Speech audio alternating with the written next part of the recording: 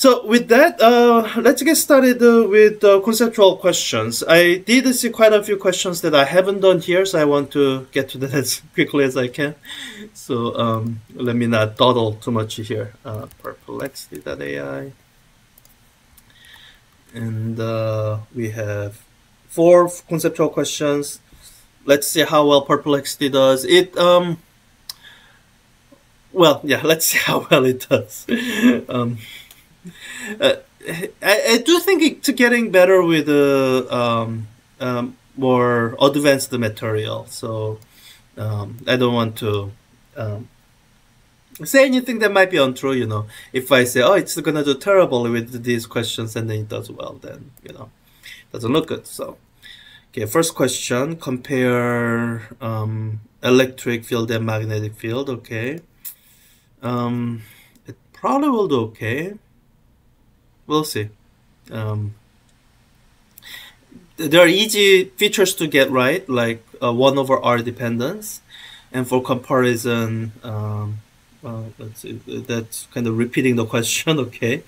uh, radial dependence, yeah, decrease with distance, and it's not quite, yeah, inversely proportional, okay, yeah. That's the same with the magnetic field and dependence on line property, sure. Um, yeah. Don't know if I put this in the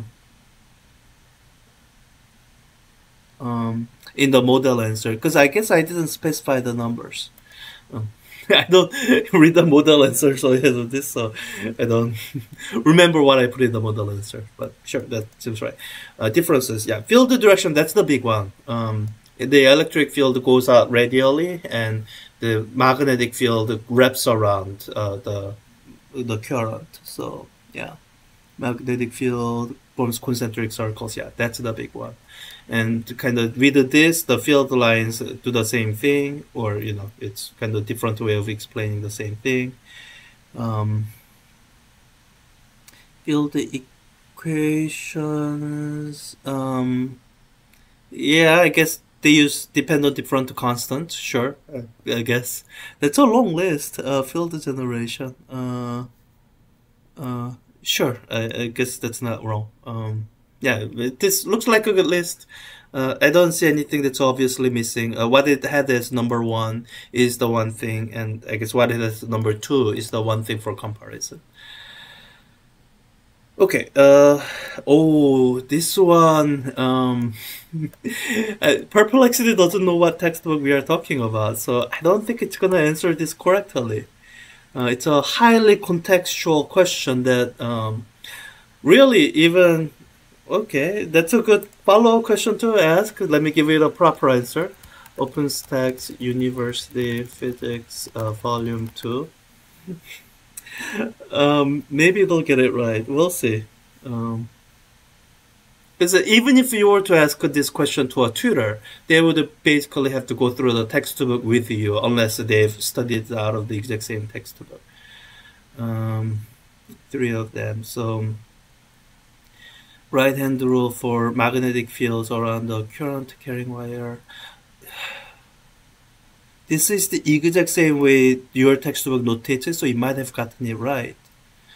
Uh, magnetic force on a current carrying wire. Point your wait. Did they just uh, no no no um, right hand thumb in the direction of conventional current in a straight wire, then curl the fingers in the in a wire, and your fingers in the direction of uh,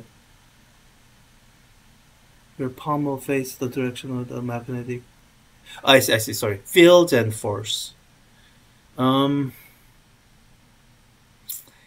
I don't think that's the different versions. I remember. I thought I could be misremembering. Uh, it's giving you citations. Okay, Khan Academy. That won't be right.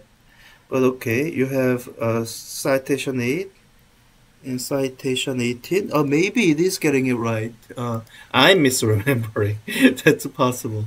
Um, so rhr1 um, no. Uh, I do remember the notation your textbook uses as RHR1. So RHR1, okay. Um, direction of magnetic force. Uh, uh,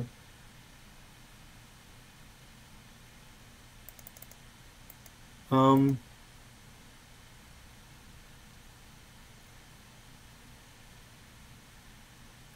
am I in the wrong section? Um,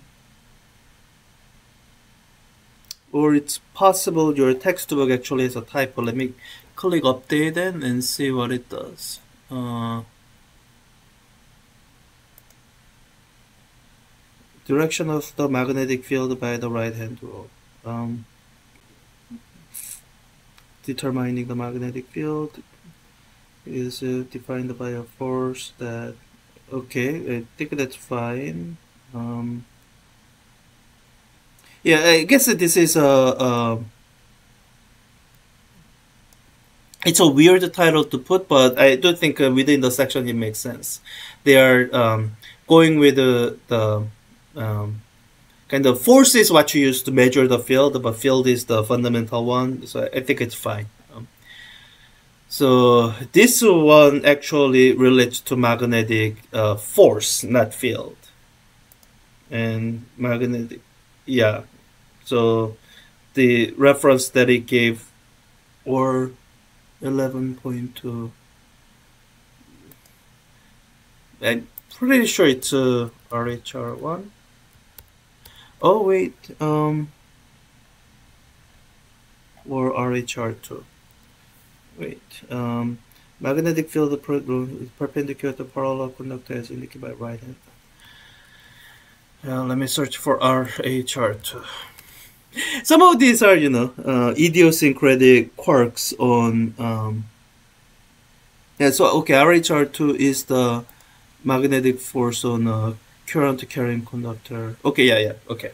So the first right hand rule is for uh, moving charge, and second right hand rule is the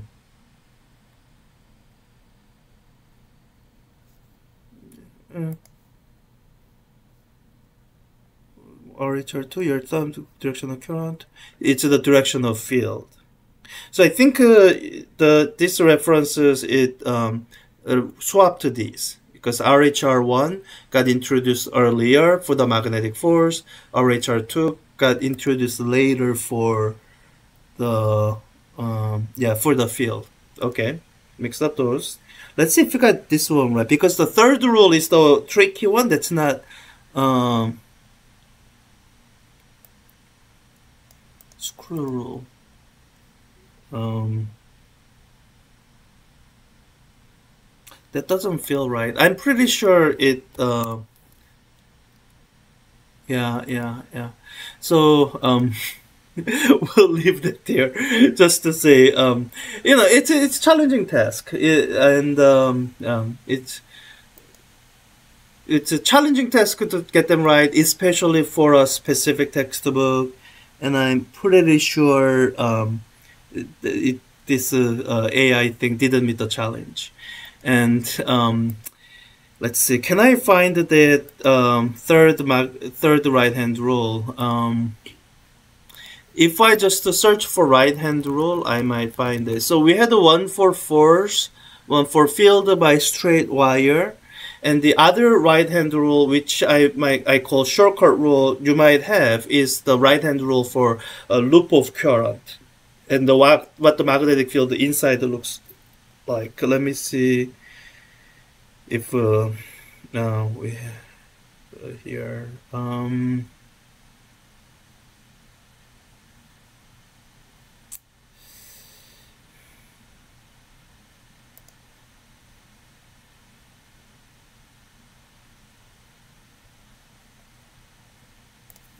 see right um I probably shouldn't be wasting time here. Let's see. Uh, I,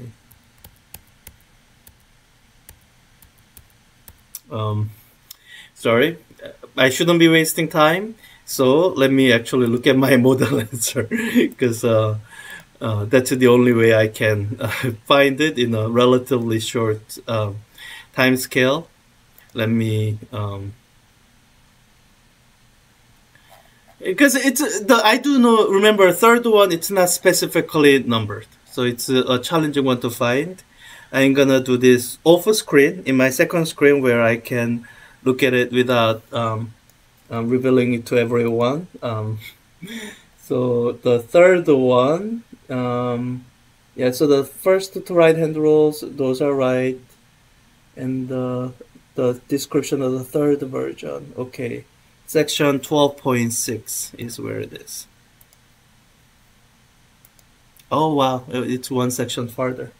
Um, and then let me go to the right hand rule. Yeah, you can yeah, you can find the direction of magnetic field with the right hand rule. Uh, it would be RHR3 if they were numbering it correctly.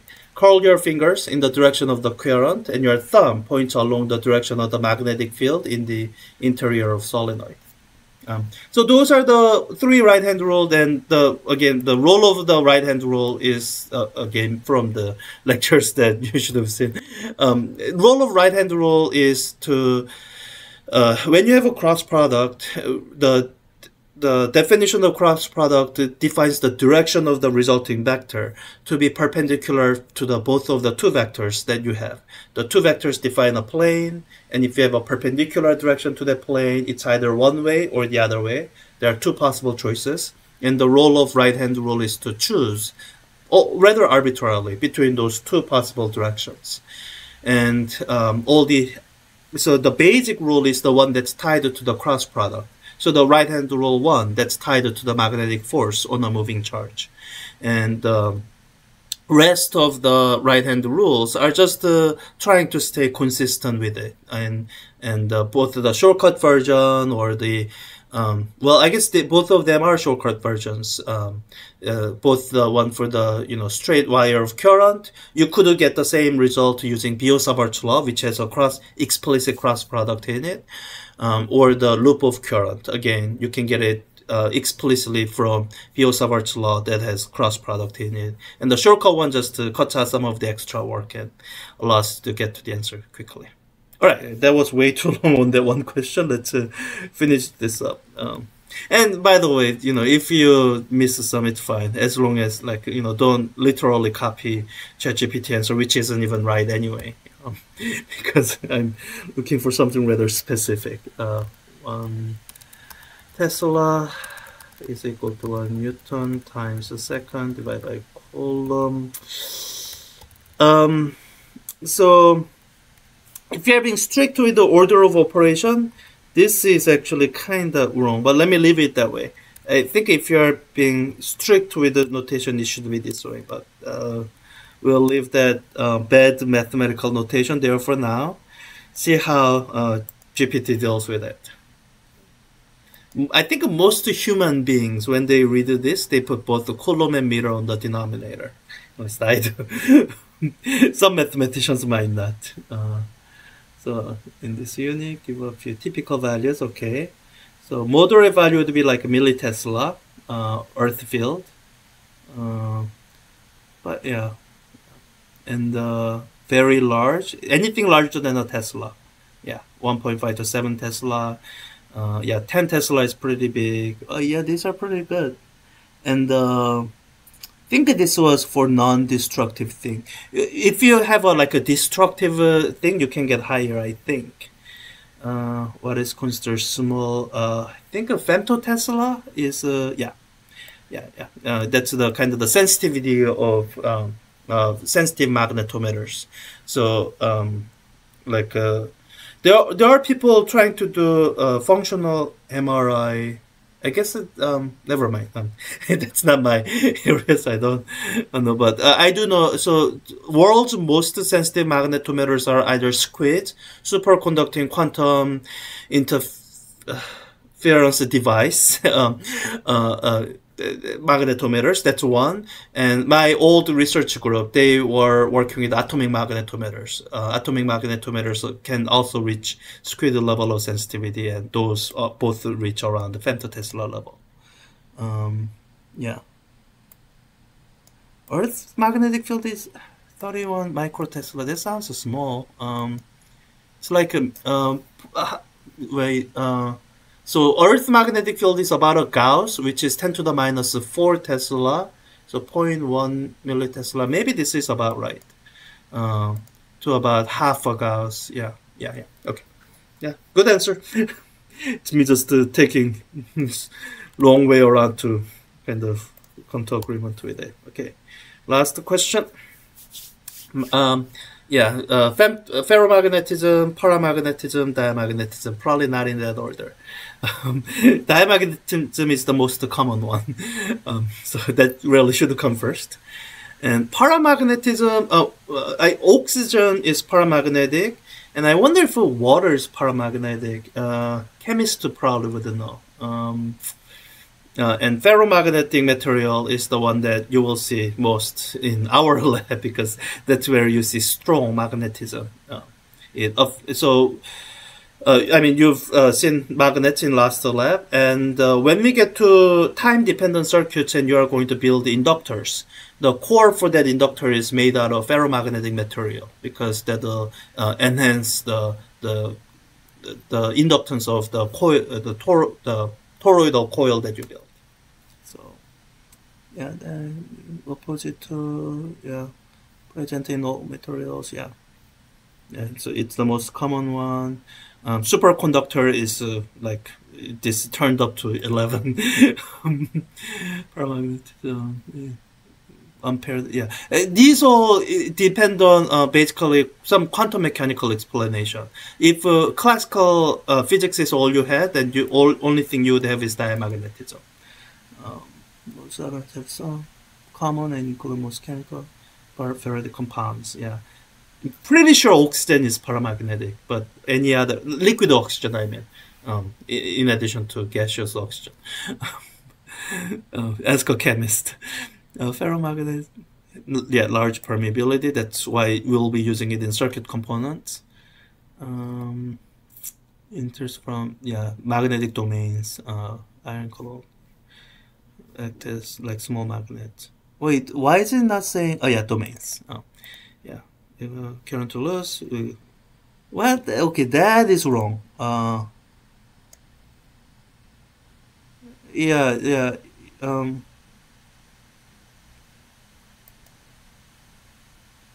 Uh, let me um. Let me just.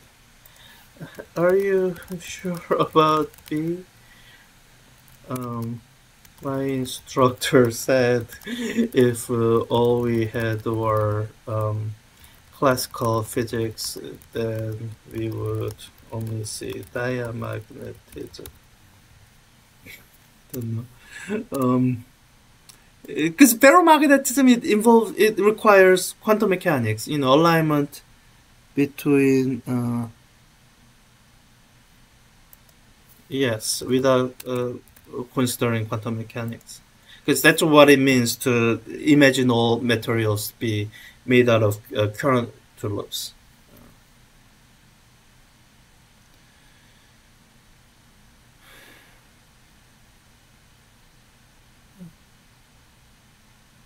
Yeah, yeah. Um, it's getting way complicated. Yeah, let, let me not go down into the second rabbit hole and just leave it off there. Um, eh, it's uh, um, yeah, it's fine. Um, uh, I don't even remember what I put in the uh, model answer, other than that diamagnetism is the, um, um but yeah, magnetism. Um, it, really the magnetism materials it requires material science which requires quantum mechanics. So we'll just leave it there. I think that's a uh, nice ending point if unsatisfying